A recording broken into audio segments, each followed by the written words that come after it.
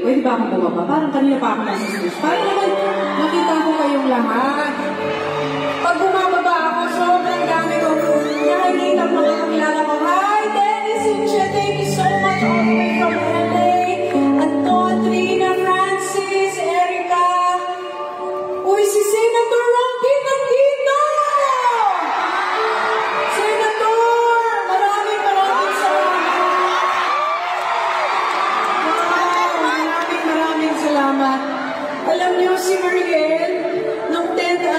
Anniversary ko, nandito siya.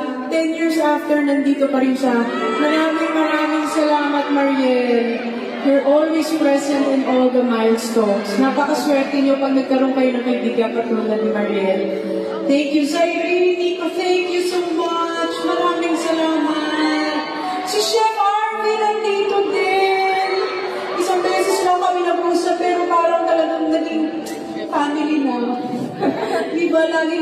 Nakasupport at yung parents ko. Ay, alam niyo ba, asan tatay? Ay, sayang. Alam niyo ba yung lolo ko, he flew all the way from New Jersey just to be here. He's 93 years old. 94 years old. He's supposed to watch. Hindi pinayagan. Kasi daw. Bawal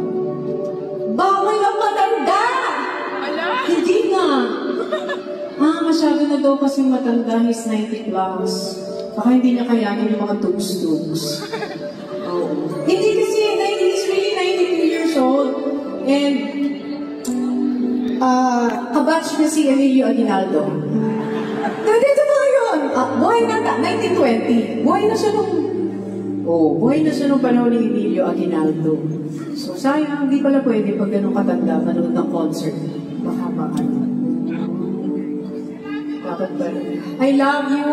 Uy, sa neto this rich na dito din. Ang mga church mates.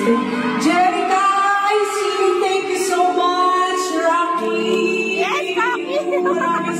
si John. Nandito din nakita ko. Maraming salamat for being here. Saan pala malapit siya? Ay, hindi, may tatanong ako. Si Chelsea is here, the beautiful daughter of Dennis and Che. If there's one thing that your parents taught you, na hindi mo malilimutan, Che, at at hindi mo mas Che, ang tawa ko na tuloy sa'yo. What's one thing that you will not forget na tinuro sa'yo ng parents mo? Always be kind to everyone and to not judge anyone regardless of where they come from. Beautiful. Diba? See, pag tinuro talaga na magulang, hindi mo malilimutan. Chef Arvin, kasama mo si Mami. Ano yung isang bagay na tinuro ni Mami na hindi mo malilimutan? To be humble. Diba? Iba talaga yung mga tinuturo ng mga magulang. Kuya Yani!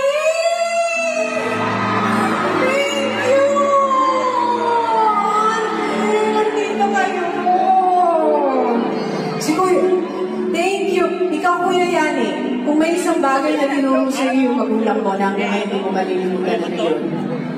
Na lumipad.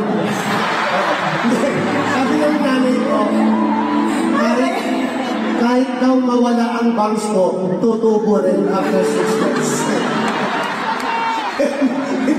Pero lagi sinasabi ng nanay ko sa akin, no matter how dark is the beginning, the one who strives can reach the sun.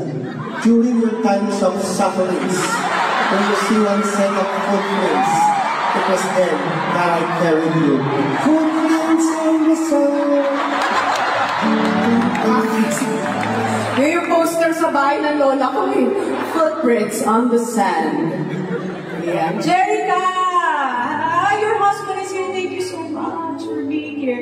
If there's one thing that you learn about your father your mother, ano it's Rocky. oh. that you will not Jerica. Only the strong can forgive. Ah, so beautiful. Only the strong can forgive. That is the true strength of a person. When you can learn how to forgive. Di ba ang ganda ng mga tinuturo ng mga magulang natin? Ano yun sa'yo? Only the strong can forgive. Ginaya mo lang siya eh. Kanina ko pa naisip Ito talaga si Kuya Pero yun din ang tinuro sa'yo ng parents mo. Ha? Only the strong can forgive, no matter how dark the beginning.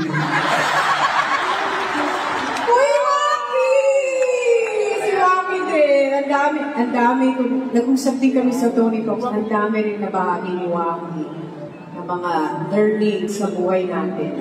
May therapeutic sa akin ng Tony Talks. Eh, syempre, kanina, I honored my mom. Alam niyo ba, nagturo sa akin kumanta ng bata ako. Daddy ko. Yes, ang daddy ko. O, di ba? Kaya siya sisingin niyo kung ano man natunog ng boses. Siya yung vocal coach ko. Kasi naalala ko lagi kumakanta yan na na naiyak ka ba, daddy, or naanto ka lang? Senior na kasi ang ating mga ka-maintenance. Ka pwede ka ba kumanta, daddy? I-try mo. Ba, sample naman naman sila para naman makita nila na ikaw, ikaw ang nagturo sa akin kumanta. Naalala mo? Hindi kasi dati dati ka lagi ano. Eto, ito ang kakantahin mo. Pag kinanta mo yan, dapat laging buo yung boses mo kasi pag kinanta yan ng original singer, sobrang ganda ng boses niya, sobrang lalim, buong-buo talaga. Gusto mo i-try? Tayo ka naman para makita ka nila, daddy. Nag-ready kami ng lyrics, oh. Di ba lagi mong kinakanta to? O, parinig mo sa kanila. Ay, nagtatalabas. O, go.